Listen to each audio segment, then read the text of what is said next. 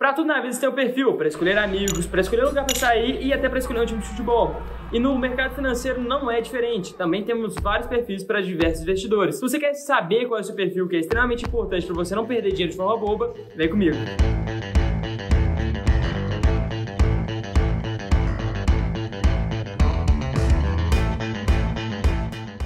E aí, cidadão de Asa, seja bem-vindo a mais um vídeo e hoje nós vamos descobrir qual é o seu perfil de investidor. No mercado financeiro como um todo, temos três grandes perfis, que são o arrojado, o moderado e o conservador, beleza? Em algum dos três você vai acabar se encaixando e ao longo do vídeo você vai descobrir. Vamos começar agora pelo conservador. Conservador é aquele cara que quer evitar o risco ao máximo, odeia risco, aquele cara que quando investe uma ação, vê ela cair em 10%, quase tem um treco, quase tem uma parada cardíaca, o cara não consegue. E quando ele vê o seu dinheiro caindo da corretora, ele fala, meu Deus, Deus do céu, o que está acontecendo? Esse cara, ele odeia o risco de toda forma. Se ele fica assim com ações é 10%, nem só criptomoedas. Ele não quer nem passar perto, né? Porque criptomoeda é aquela coisa. Tem dia que sobe 100%, é uma maravilha. Mas tem dia que cai 100% também. E tem tipos de investidores que aguentam isso. Obrigado, Carro. Nós. Voltando aqui. Tem perfis que aceitam correr esse risco, perder esse dinheiro. Mas o conservador é o cara que fala: não consigo de jeito nenhum. Se eu ver um dia meu dinheiro valorizando 80% em uma semana, eu acho que eu caio duro. O conservador normalmente vai ter a carteira ali mais focada na renda fixa, o porquê é óbvio, em fundos imobiliários, porque em geral os fundos imobiliários têm pouca volatilidade. Dificilmente você vai ver um fundo imobiliário cair 10% no dia, 30% no dia só em casos extremamente excepcionais, como foi na época lá que eles estavam tramitando para ver se ia taxar dividendos de fundos imobiliários ou não. Acabou que não taxou, então tá tudo bem. E também no Covid. Então, só em dias excepcionais que acabam tendo essa toda volatilidade. Então, a mesma forma que é difícil você ver um fundo imobiliário caindo 5, 10% em um dia, também é difícil você achar um que tá subindo esse valor todo, entendeu? Então, normalmente até uma velocidade menor, é o que a gente chama de beta pequeno, entendeu? No mercado. Um termo mais técnico aí para vocês se acostumarem, beleza? Então, ele tem uma velocidade menor. Então, o conservador acha isso perfeito. Pô, ele entrar na corretora um dia e não ver sua ação caindo nem 5% e pra ele tá, pô, ótimo. Seu fundo imobiliário faz isso, perfeito. Mas ele não só investe em renda fixa e fundo imobiliário, ele também investe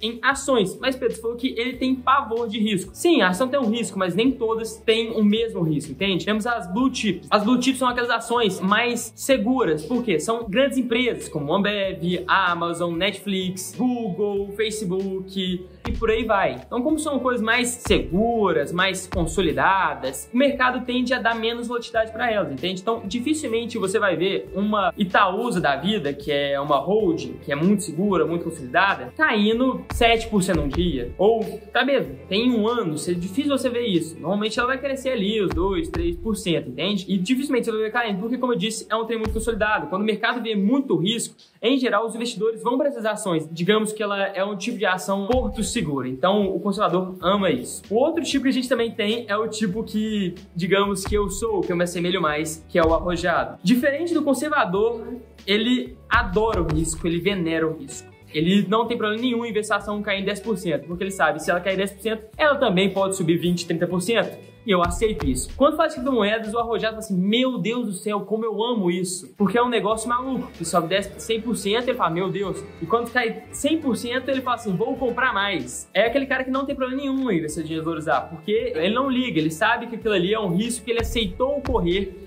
porque ele sabe que correndo mais risco você se ganha mais. Quanto maior o risco você corre, maior a sua possibilidade de ganhar mais. Então, como ele corre mais risco, ele em tese vai ter uma rentabilidade maior que a do mercado, entende? Então ele não tem problema nenhum pegar criptomoedas, investir em ações que a gente chama de small caps, que são ações diferentes da blue chip, são ações de menor capitalização de mercado, que são aquelas ações em tese mais arriscadas, entende? Então, ele literalmente não tem problema com risco. Então, diferente do conservador, que tem uma maior parte da sua carteira de investimentos em renda fixa, a dele é a menor parte. Ele tem mais uma boa parte em small cap. Small cap é a Amazon em 94, quando a Amazon não era o que ela é hoje, entende? Então, o investidor arrojado, ele quer comprar este tipo de ação. Aqui é pequena uh, agora, mas que no longo prazo vai crescer um absurdo, entende? Já o conservador já compra a ação que é blue chip, que é a Amazon de 2020, que já é aquela ação mais consolidada e que não vai crescer tanto mais. O arrojado ele quer pegar aquela ação que está pequena agora e que vai dar uma grande explosão de crescimento. Então ele vai ter uma boa parte em ações de grande crescimento,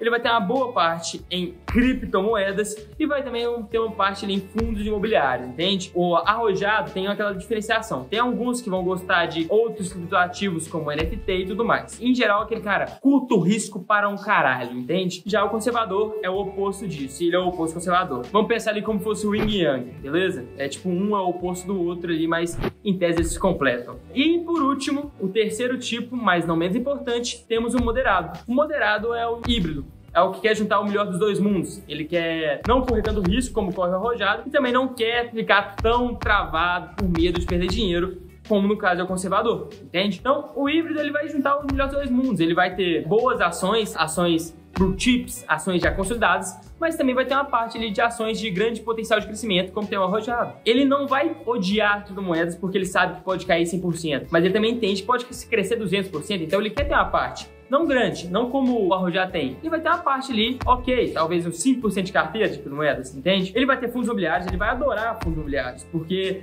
é aquele negócio, é um trem que não tem muita volatilidade, vai crescer ali de vez em quando, vai te dar uma renda mensal. É um trem legal, ele fala assim, pô, fundo imobiliário é um trem que eu curto bastante. E renda fixa ele também vai ter. Então ele vai ser um investidor equilibrado. Se a gente fosse pegar a carteira dele, equilibrado nessas quatro partes, entende? Seria ele 25% para bolsa, 25% para renda fixa, 25% para fundos imobiliários e 25% para criptomoedas. Então, para ele, ele é o investidor equilibrado. Eu tenho certeza que ao longo do vídeo você vai falar, nossa, esse aqui eu sou. E você vai acabar se identificando. Ah, Pedro, não me identifiquei exatamente com um. Você não tem que ser um. Você não tem que ser o extremo. Ah, caralho, eu sou o arrojadão. Ou eu sou super conservador, ou eu sou o híbrido dos aços. Você pode ser 80% arrojado, entende? Tem isso aí, mas em geral você vai se identificar com mais com com outro. E por que, que é importante saber o seu perfil de investidor, para você saber no que você vai investir. Se eu sou investidor arrojado e falar pro meu amigo que é um investidor conservador para investir em uma pão de açúcar que está desvalorizado, mas tem um potencial enorme de crescimento, ele fala: você tá maluco, não dá. Olha o tanque que desvalorizou ano passado. Não, não dá, não, não entra nem a pau. Mas vamos supor que eu sou muito bom na dialética e consigo convencer ele a entrar. Ele entra, a ação cai 10%, ele desespera e vende. Só que eu que sou agressivo, tô acostumado com isso, e se eu consigo segurar por mais tempo, beleza, a ação caiu 10% naquele dia, mas no longo prazo de um ano,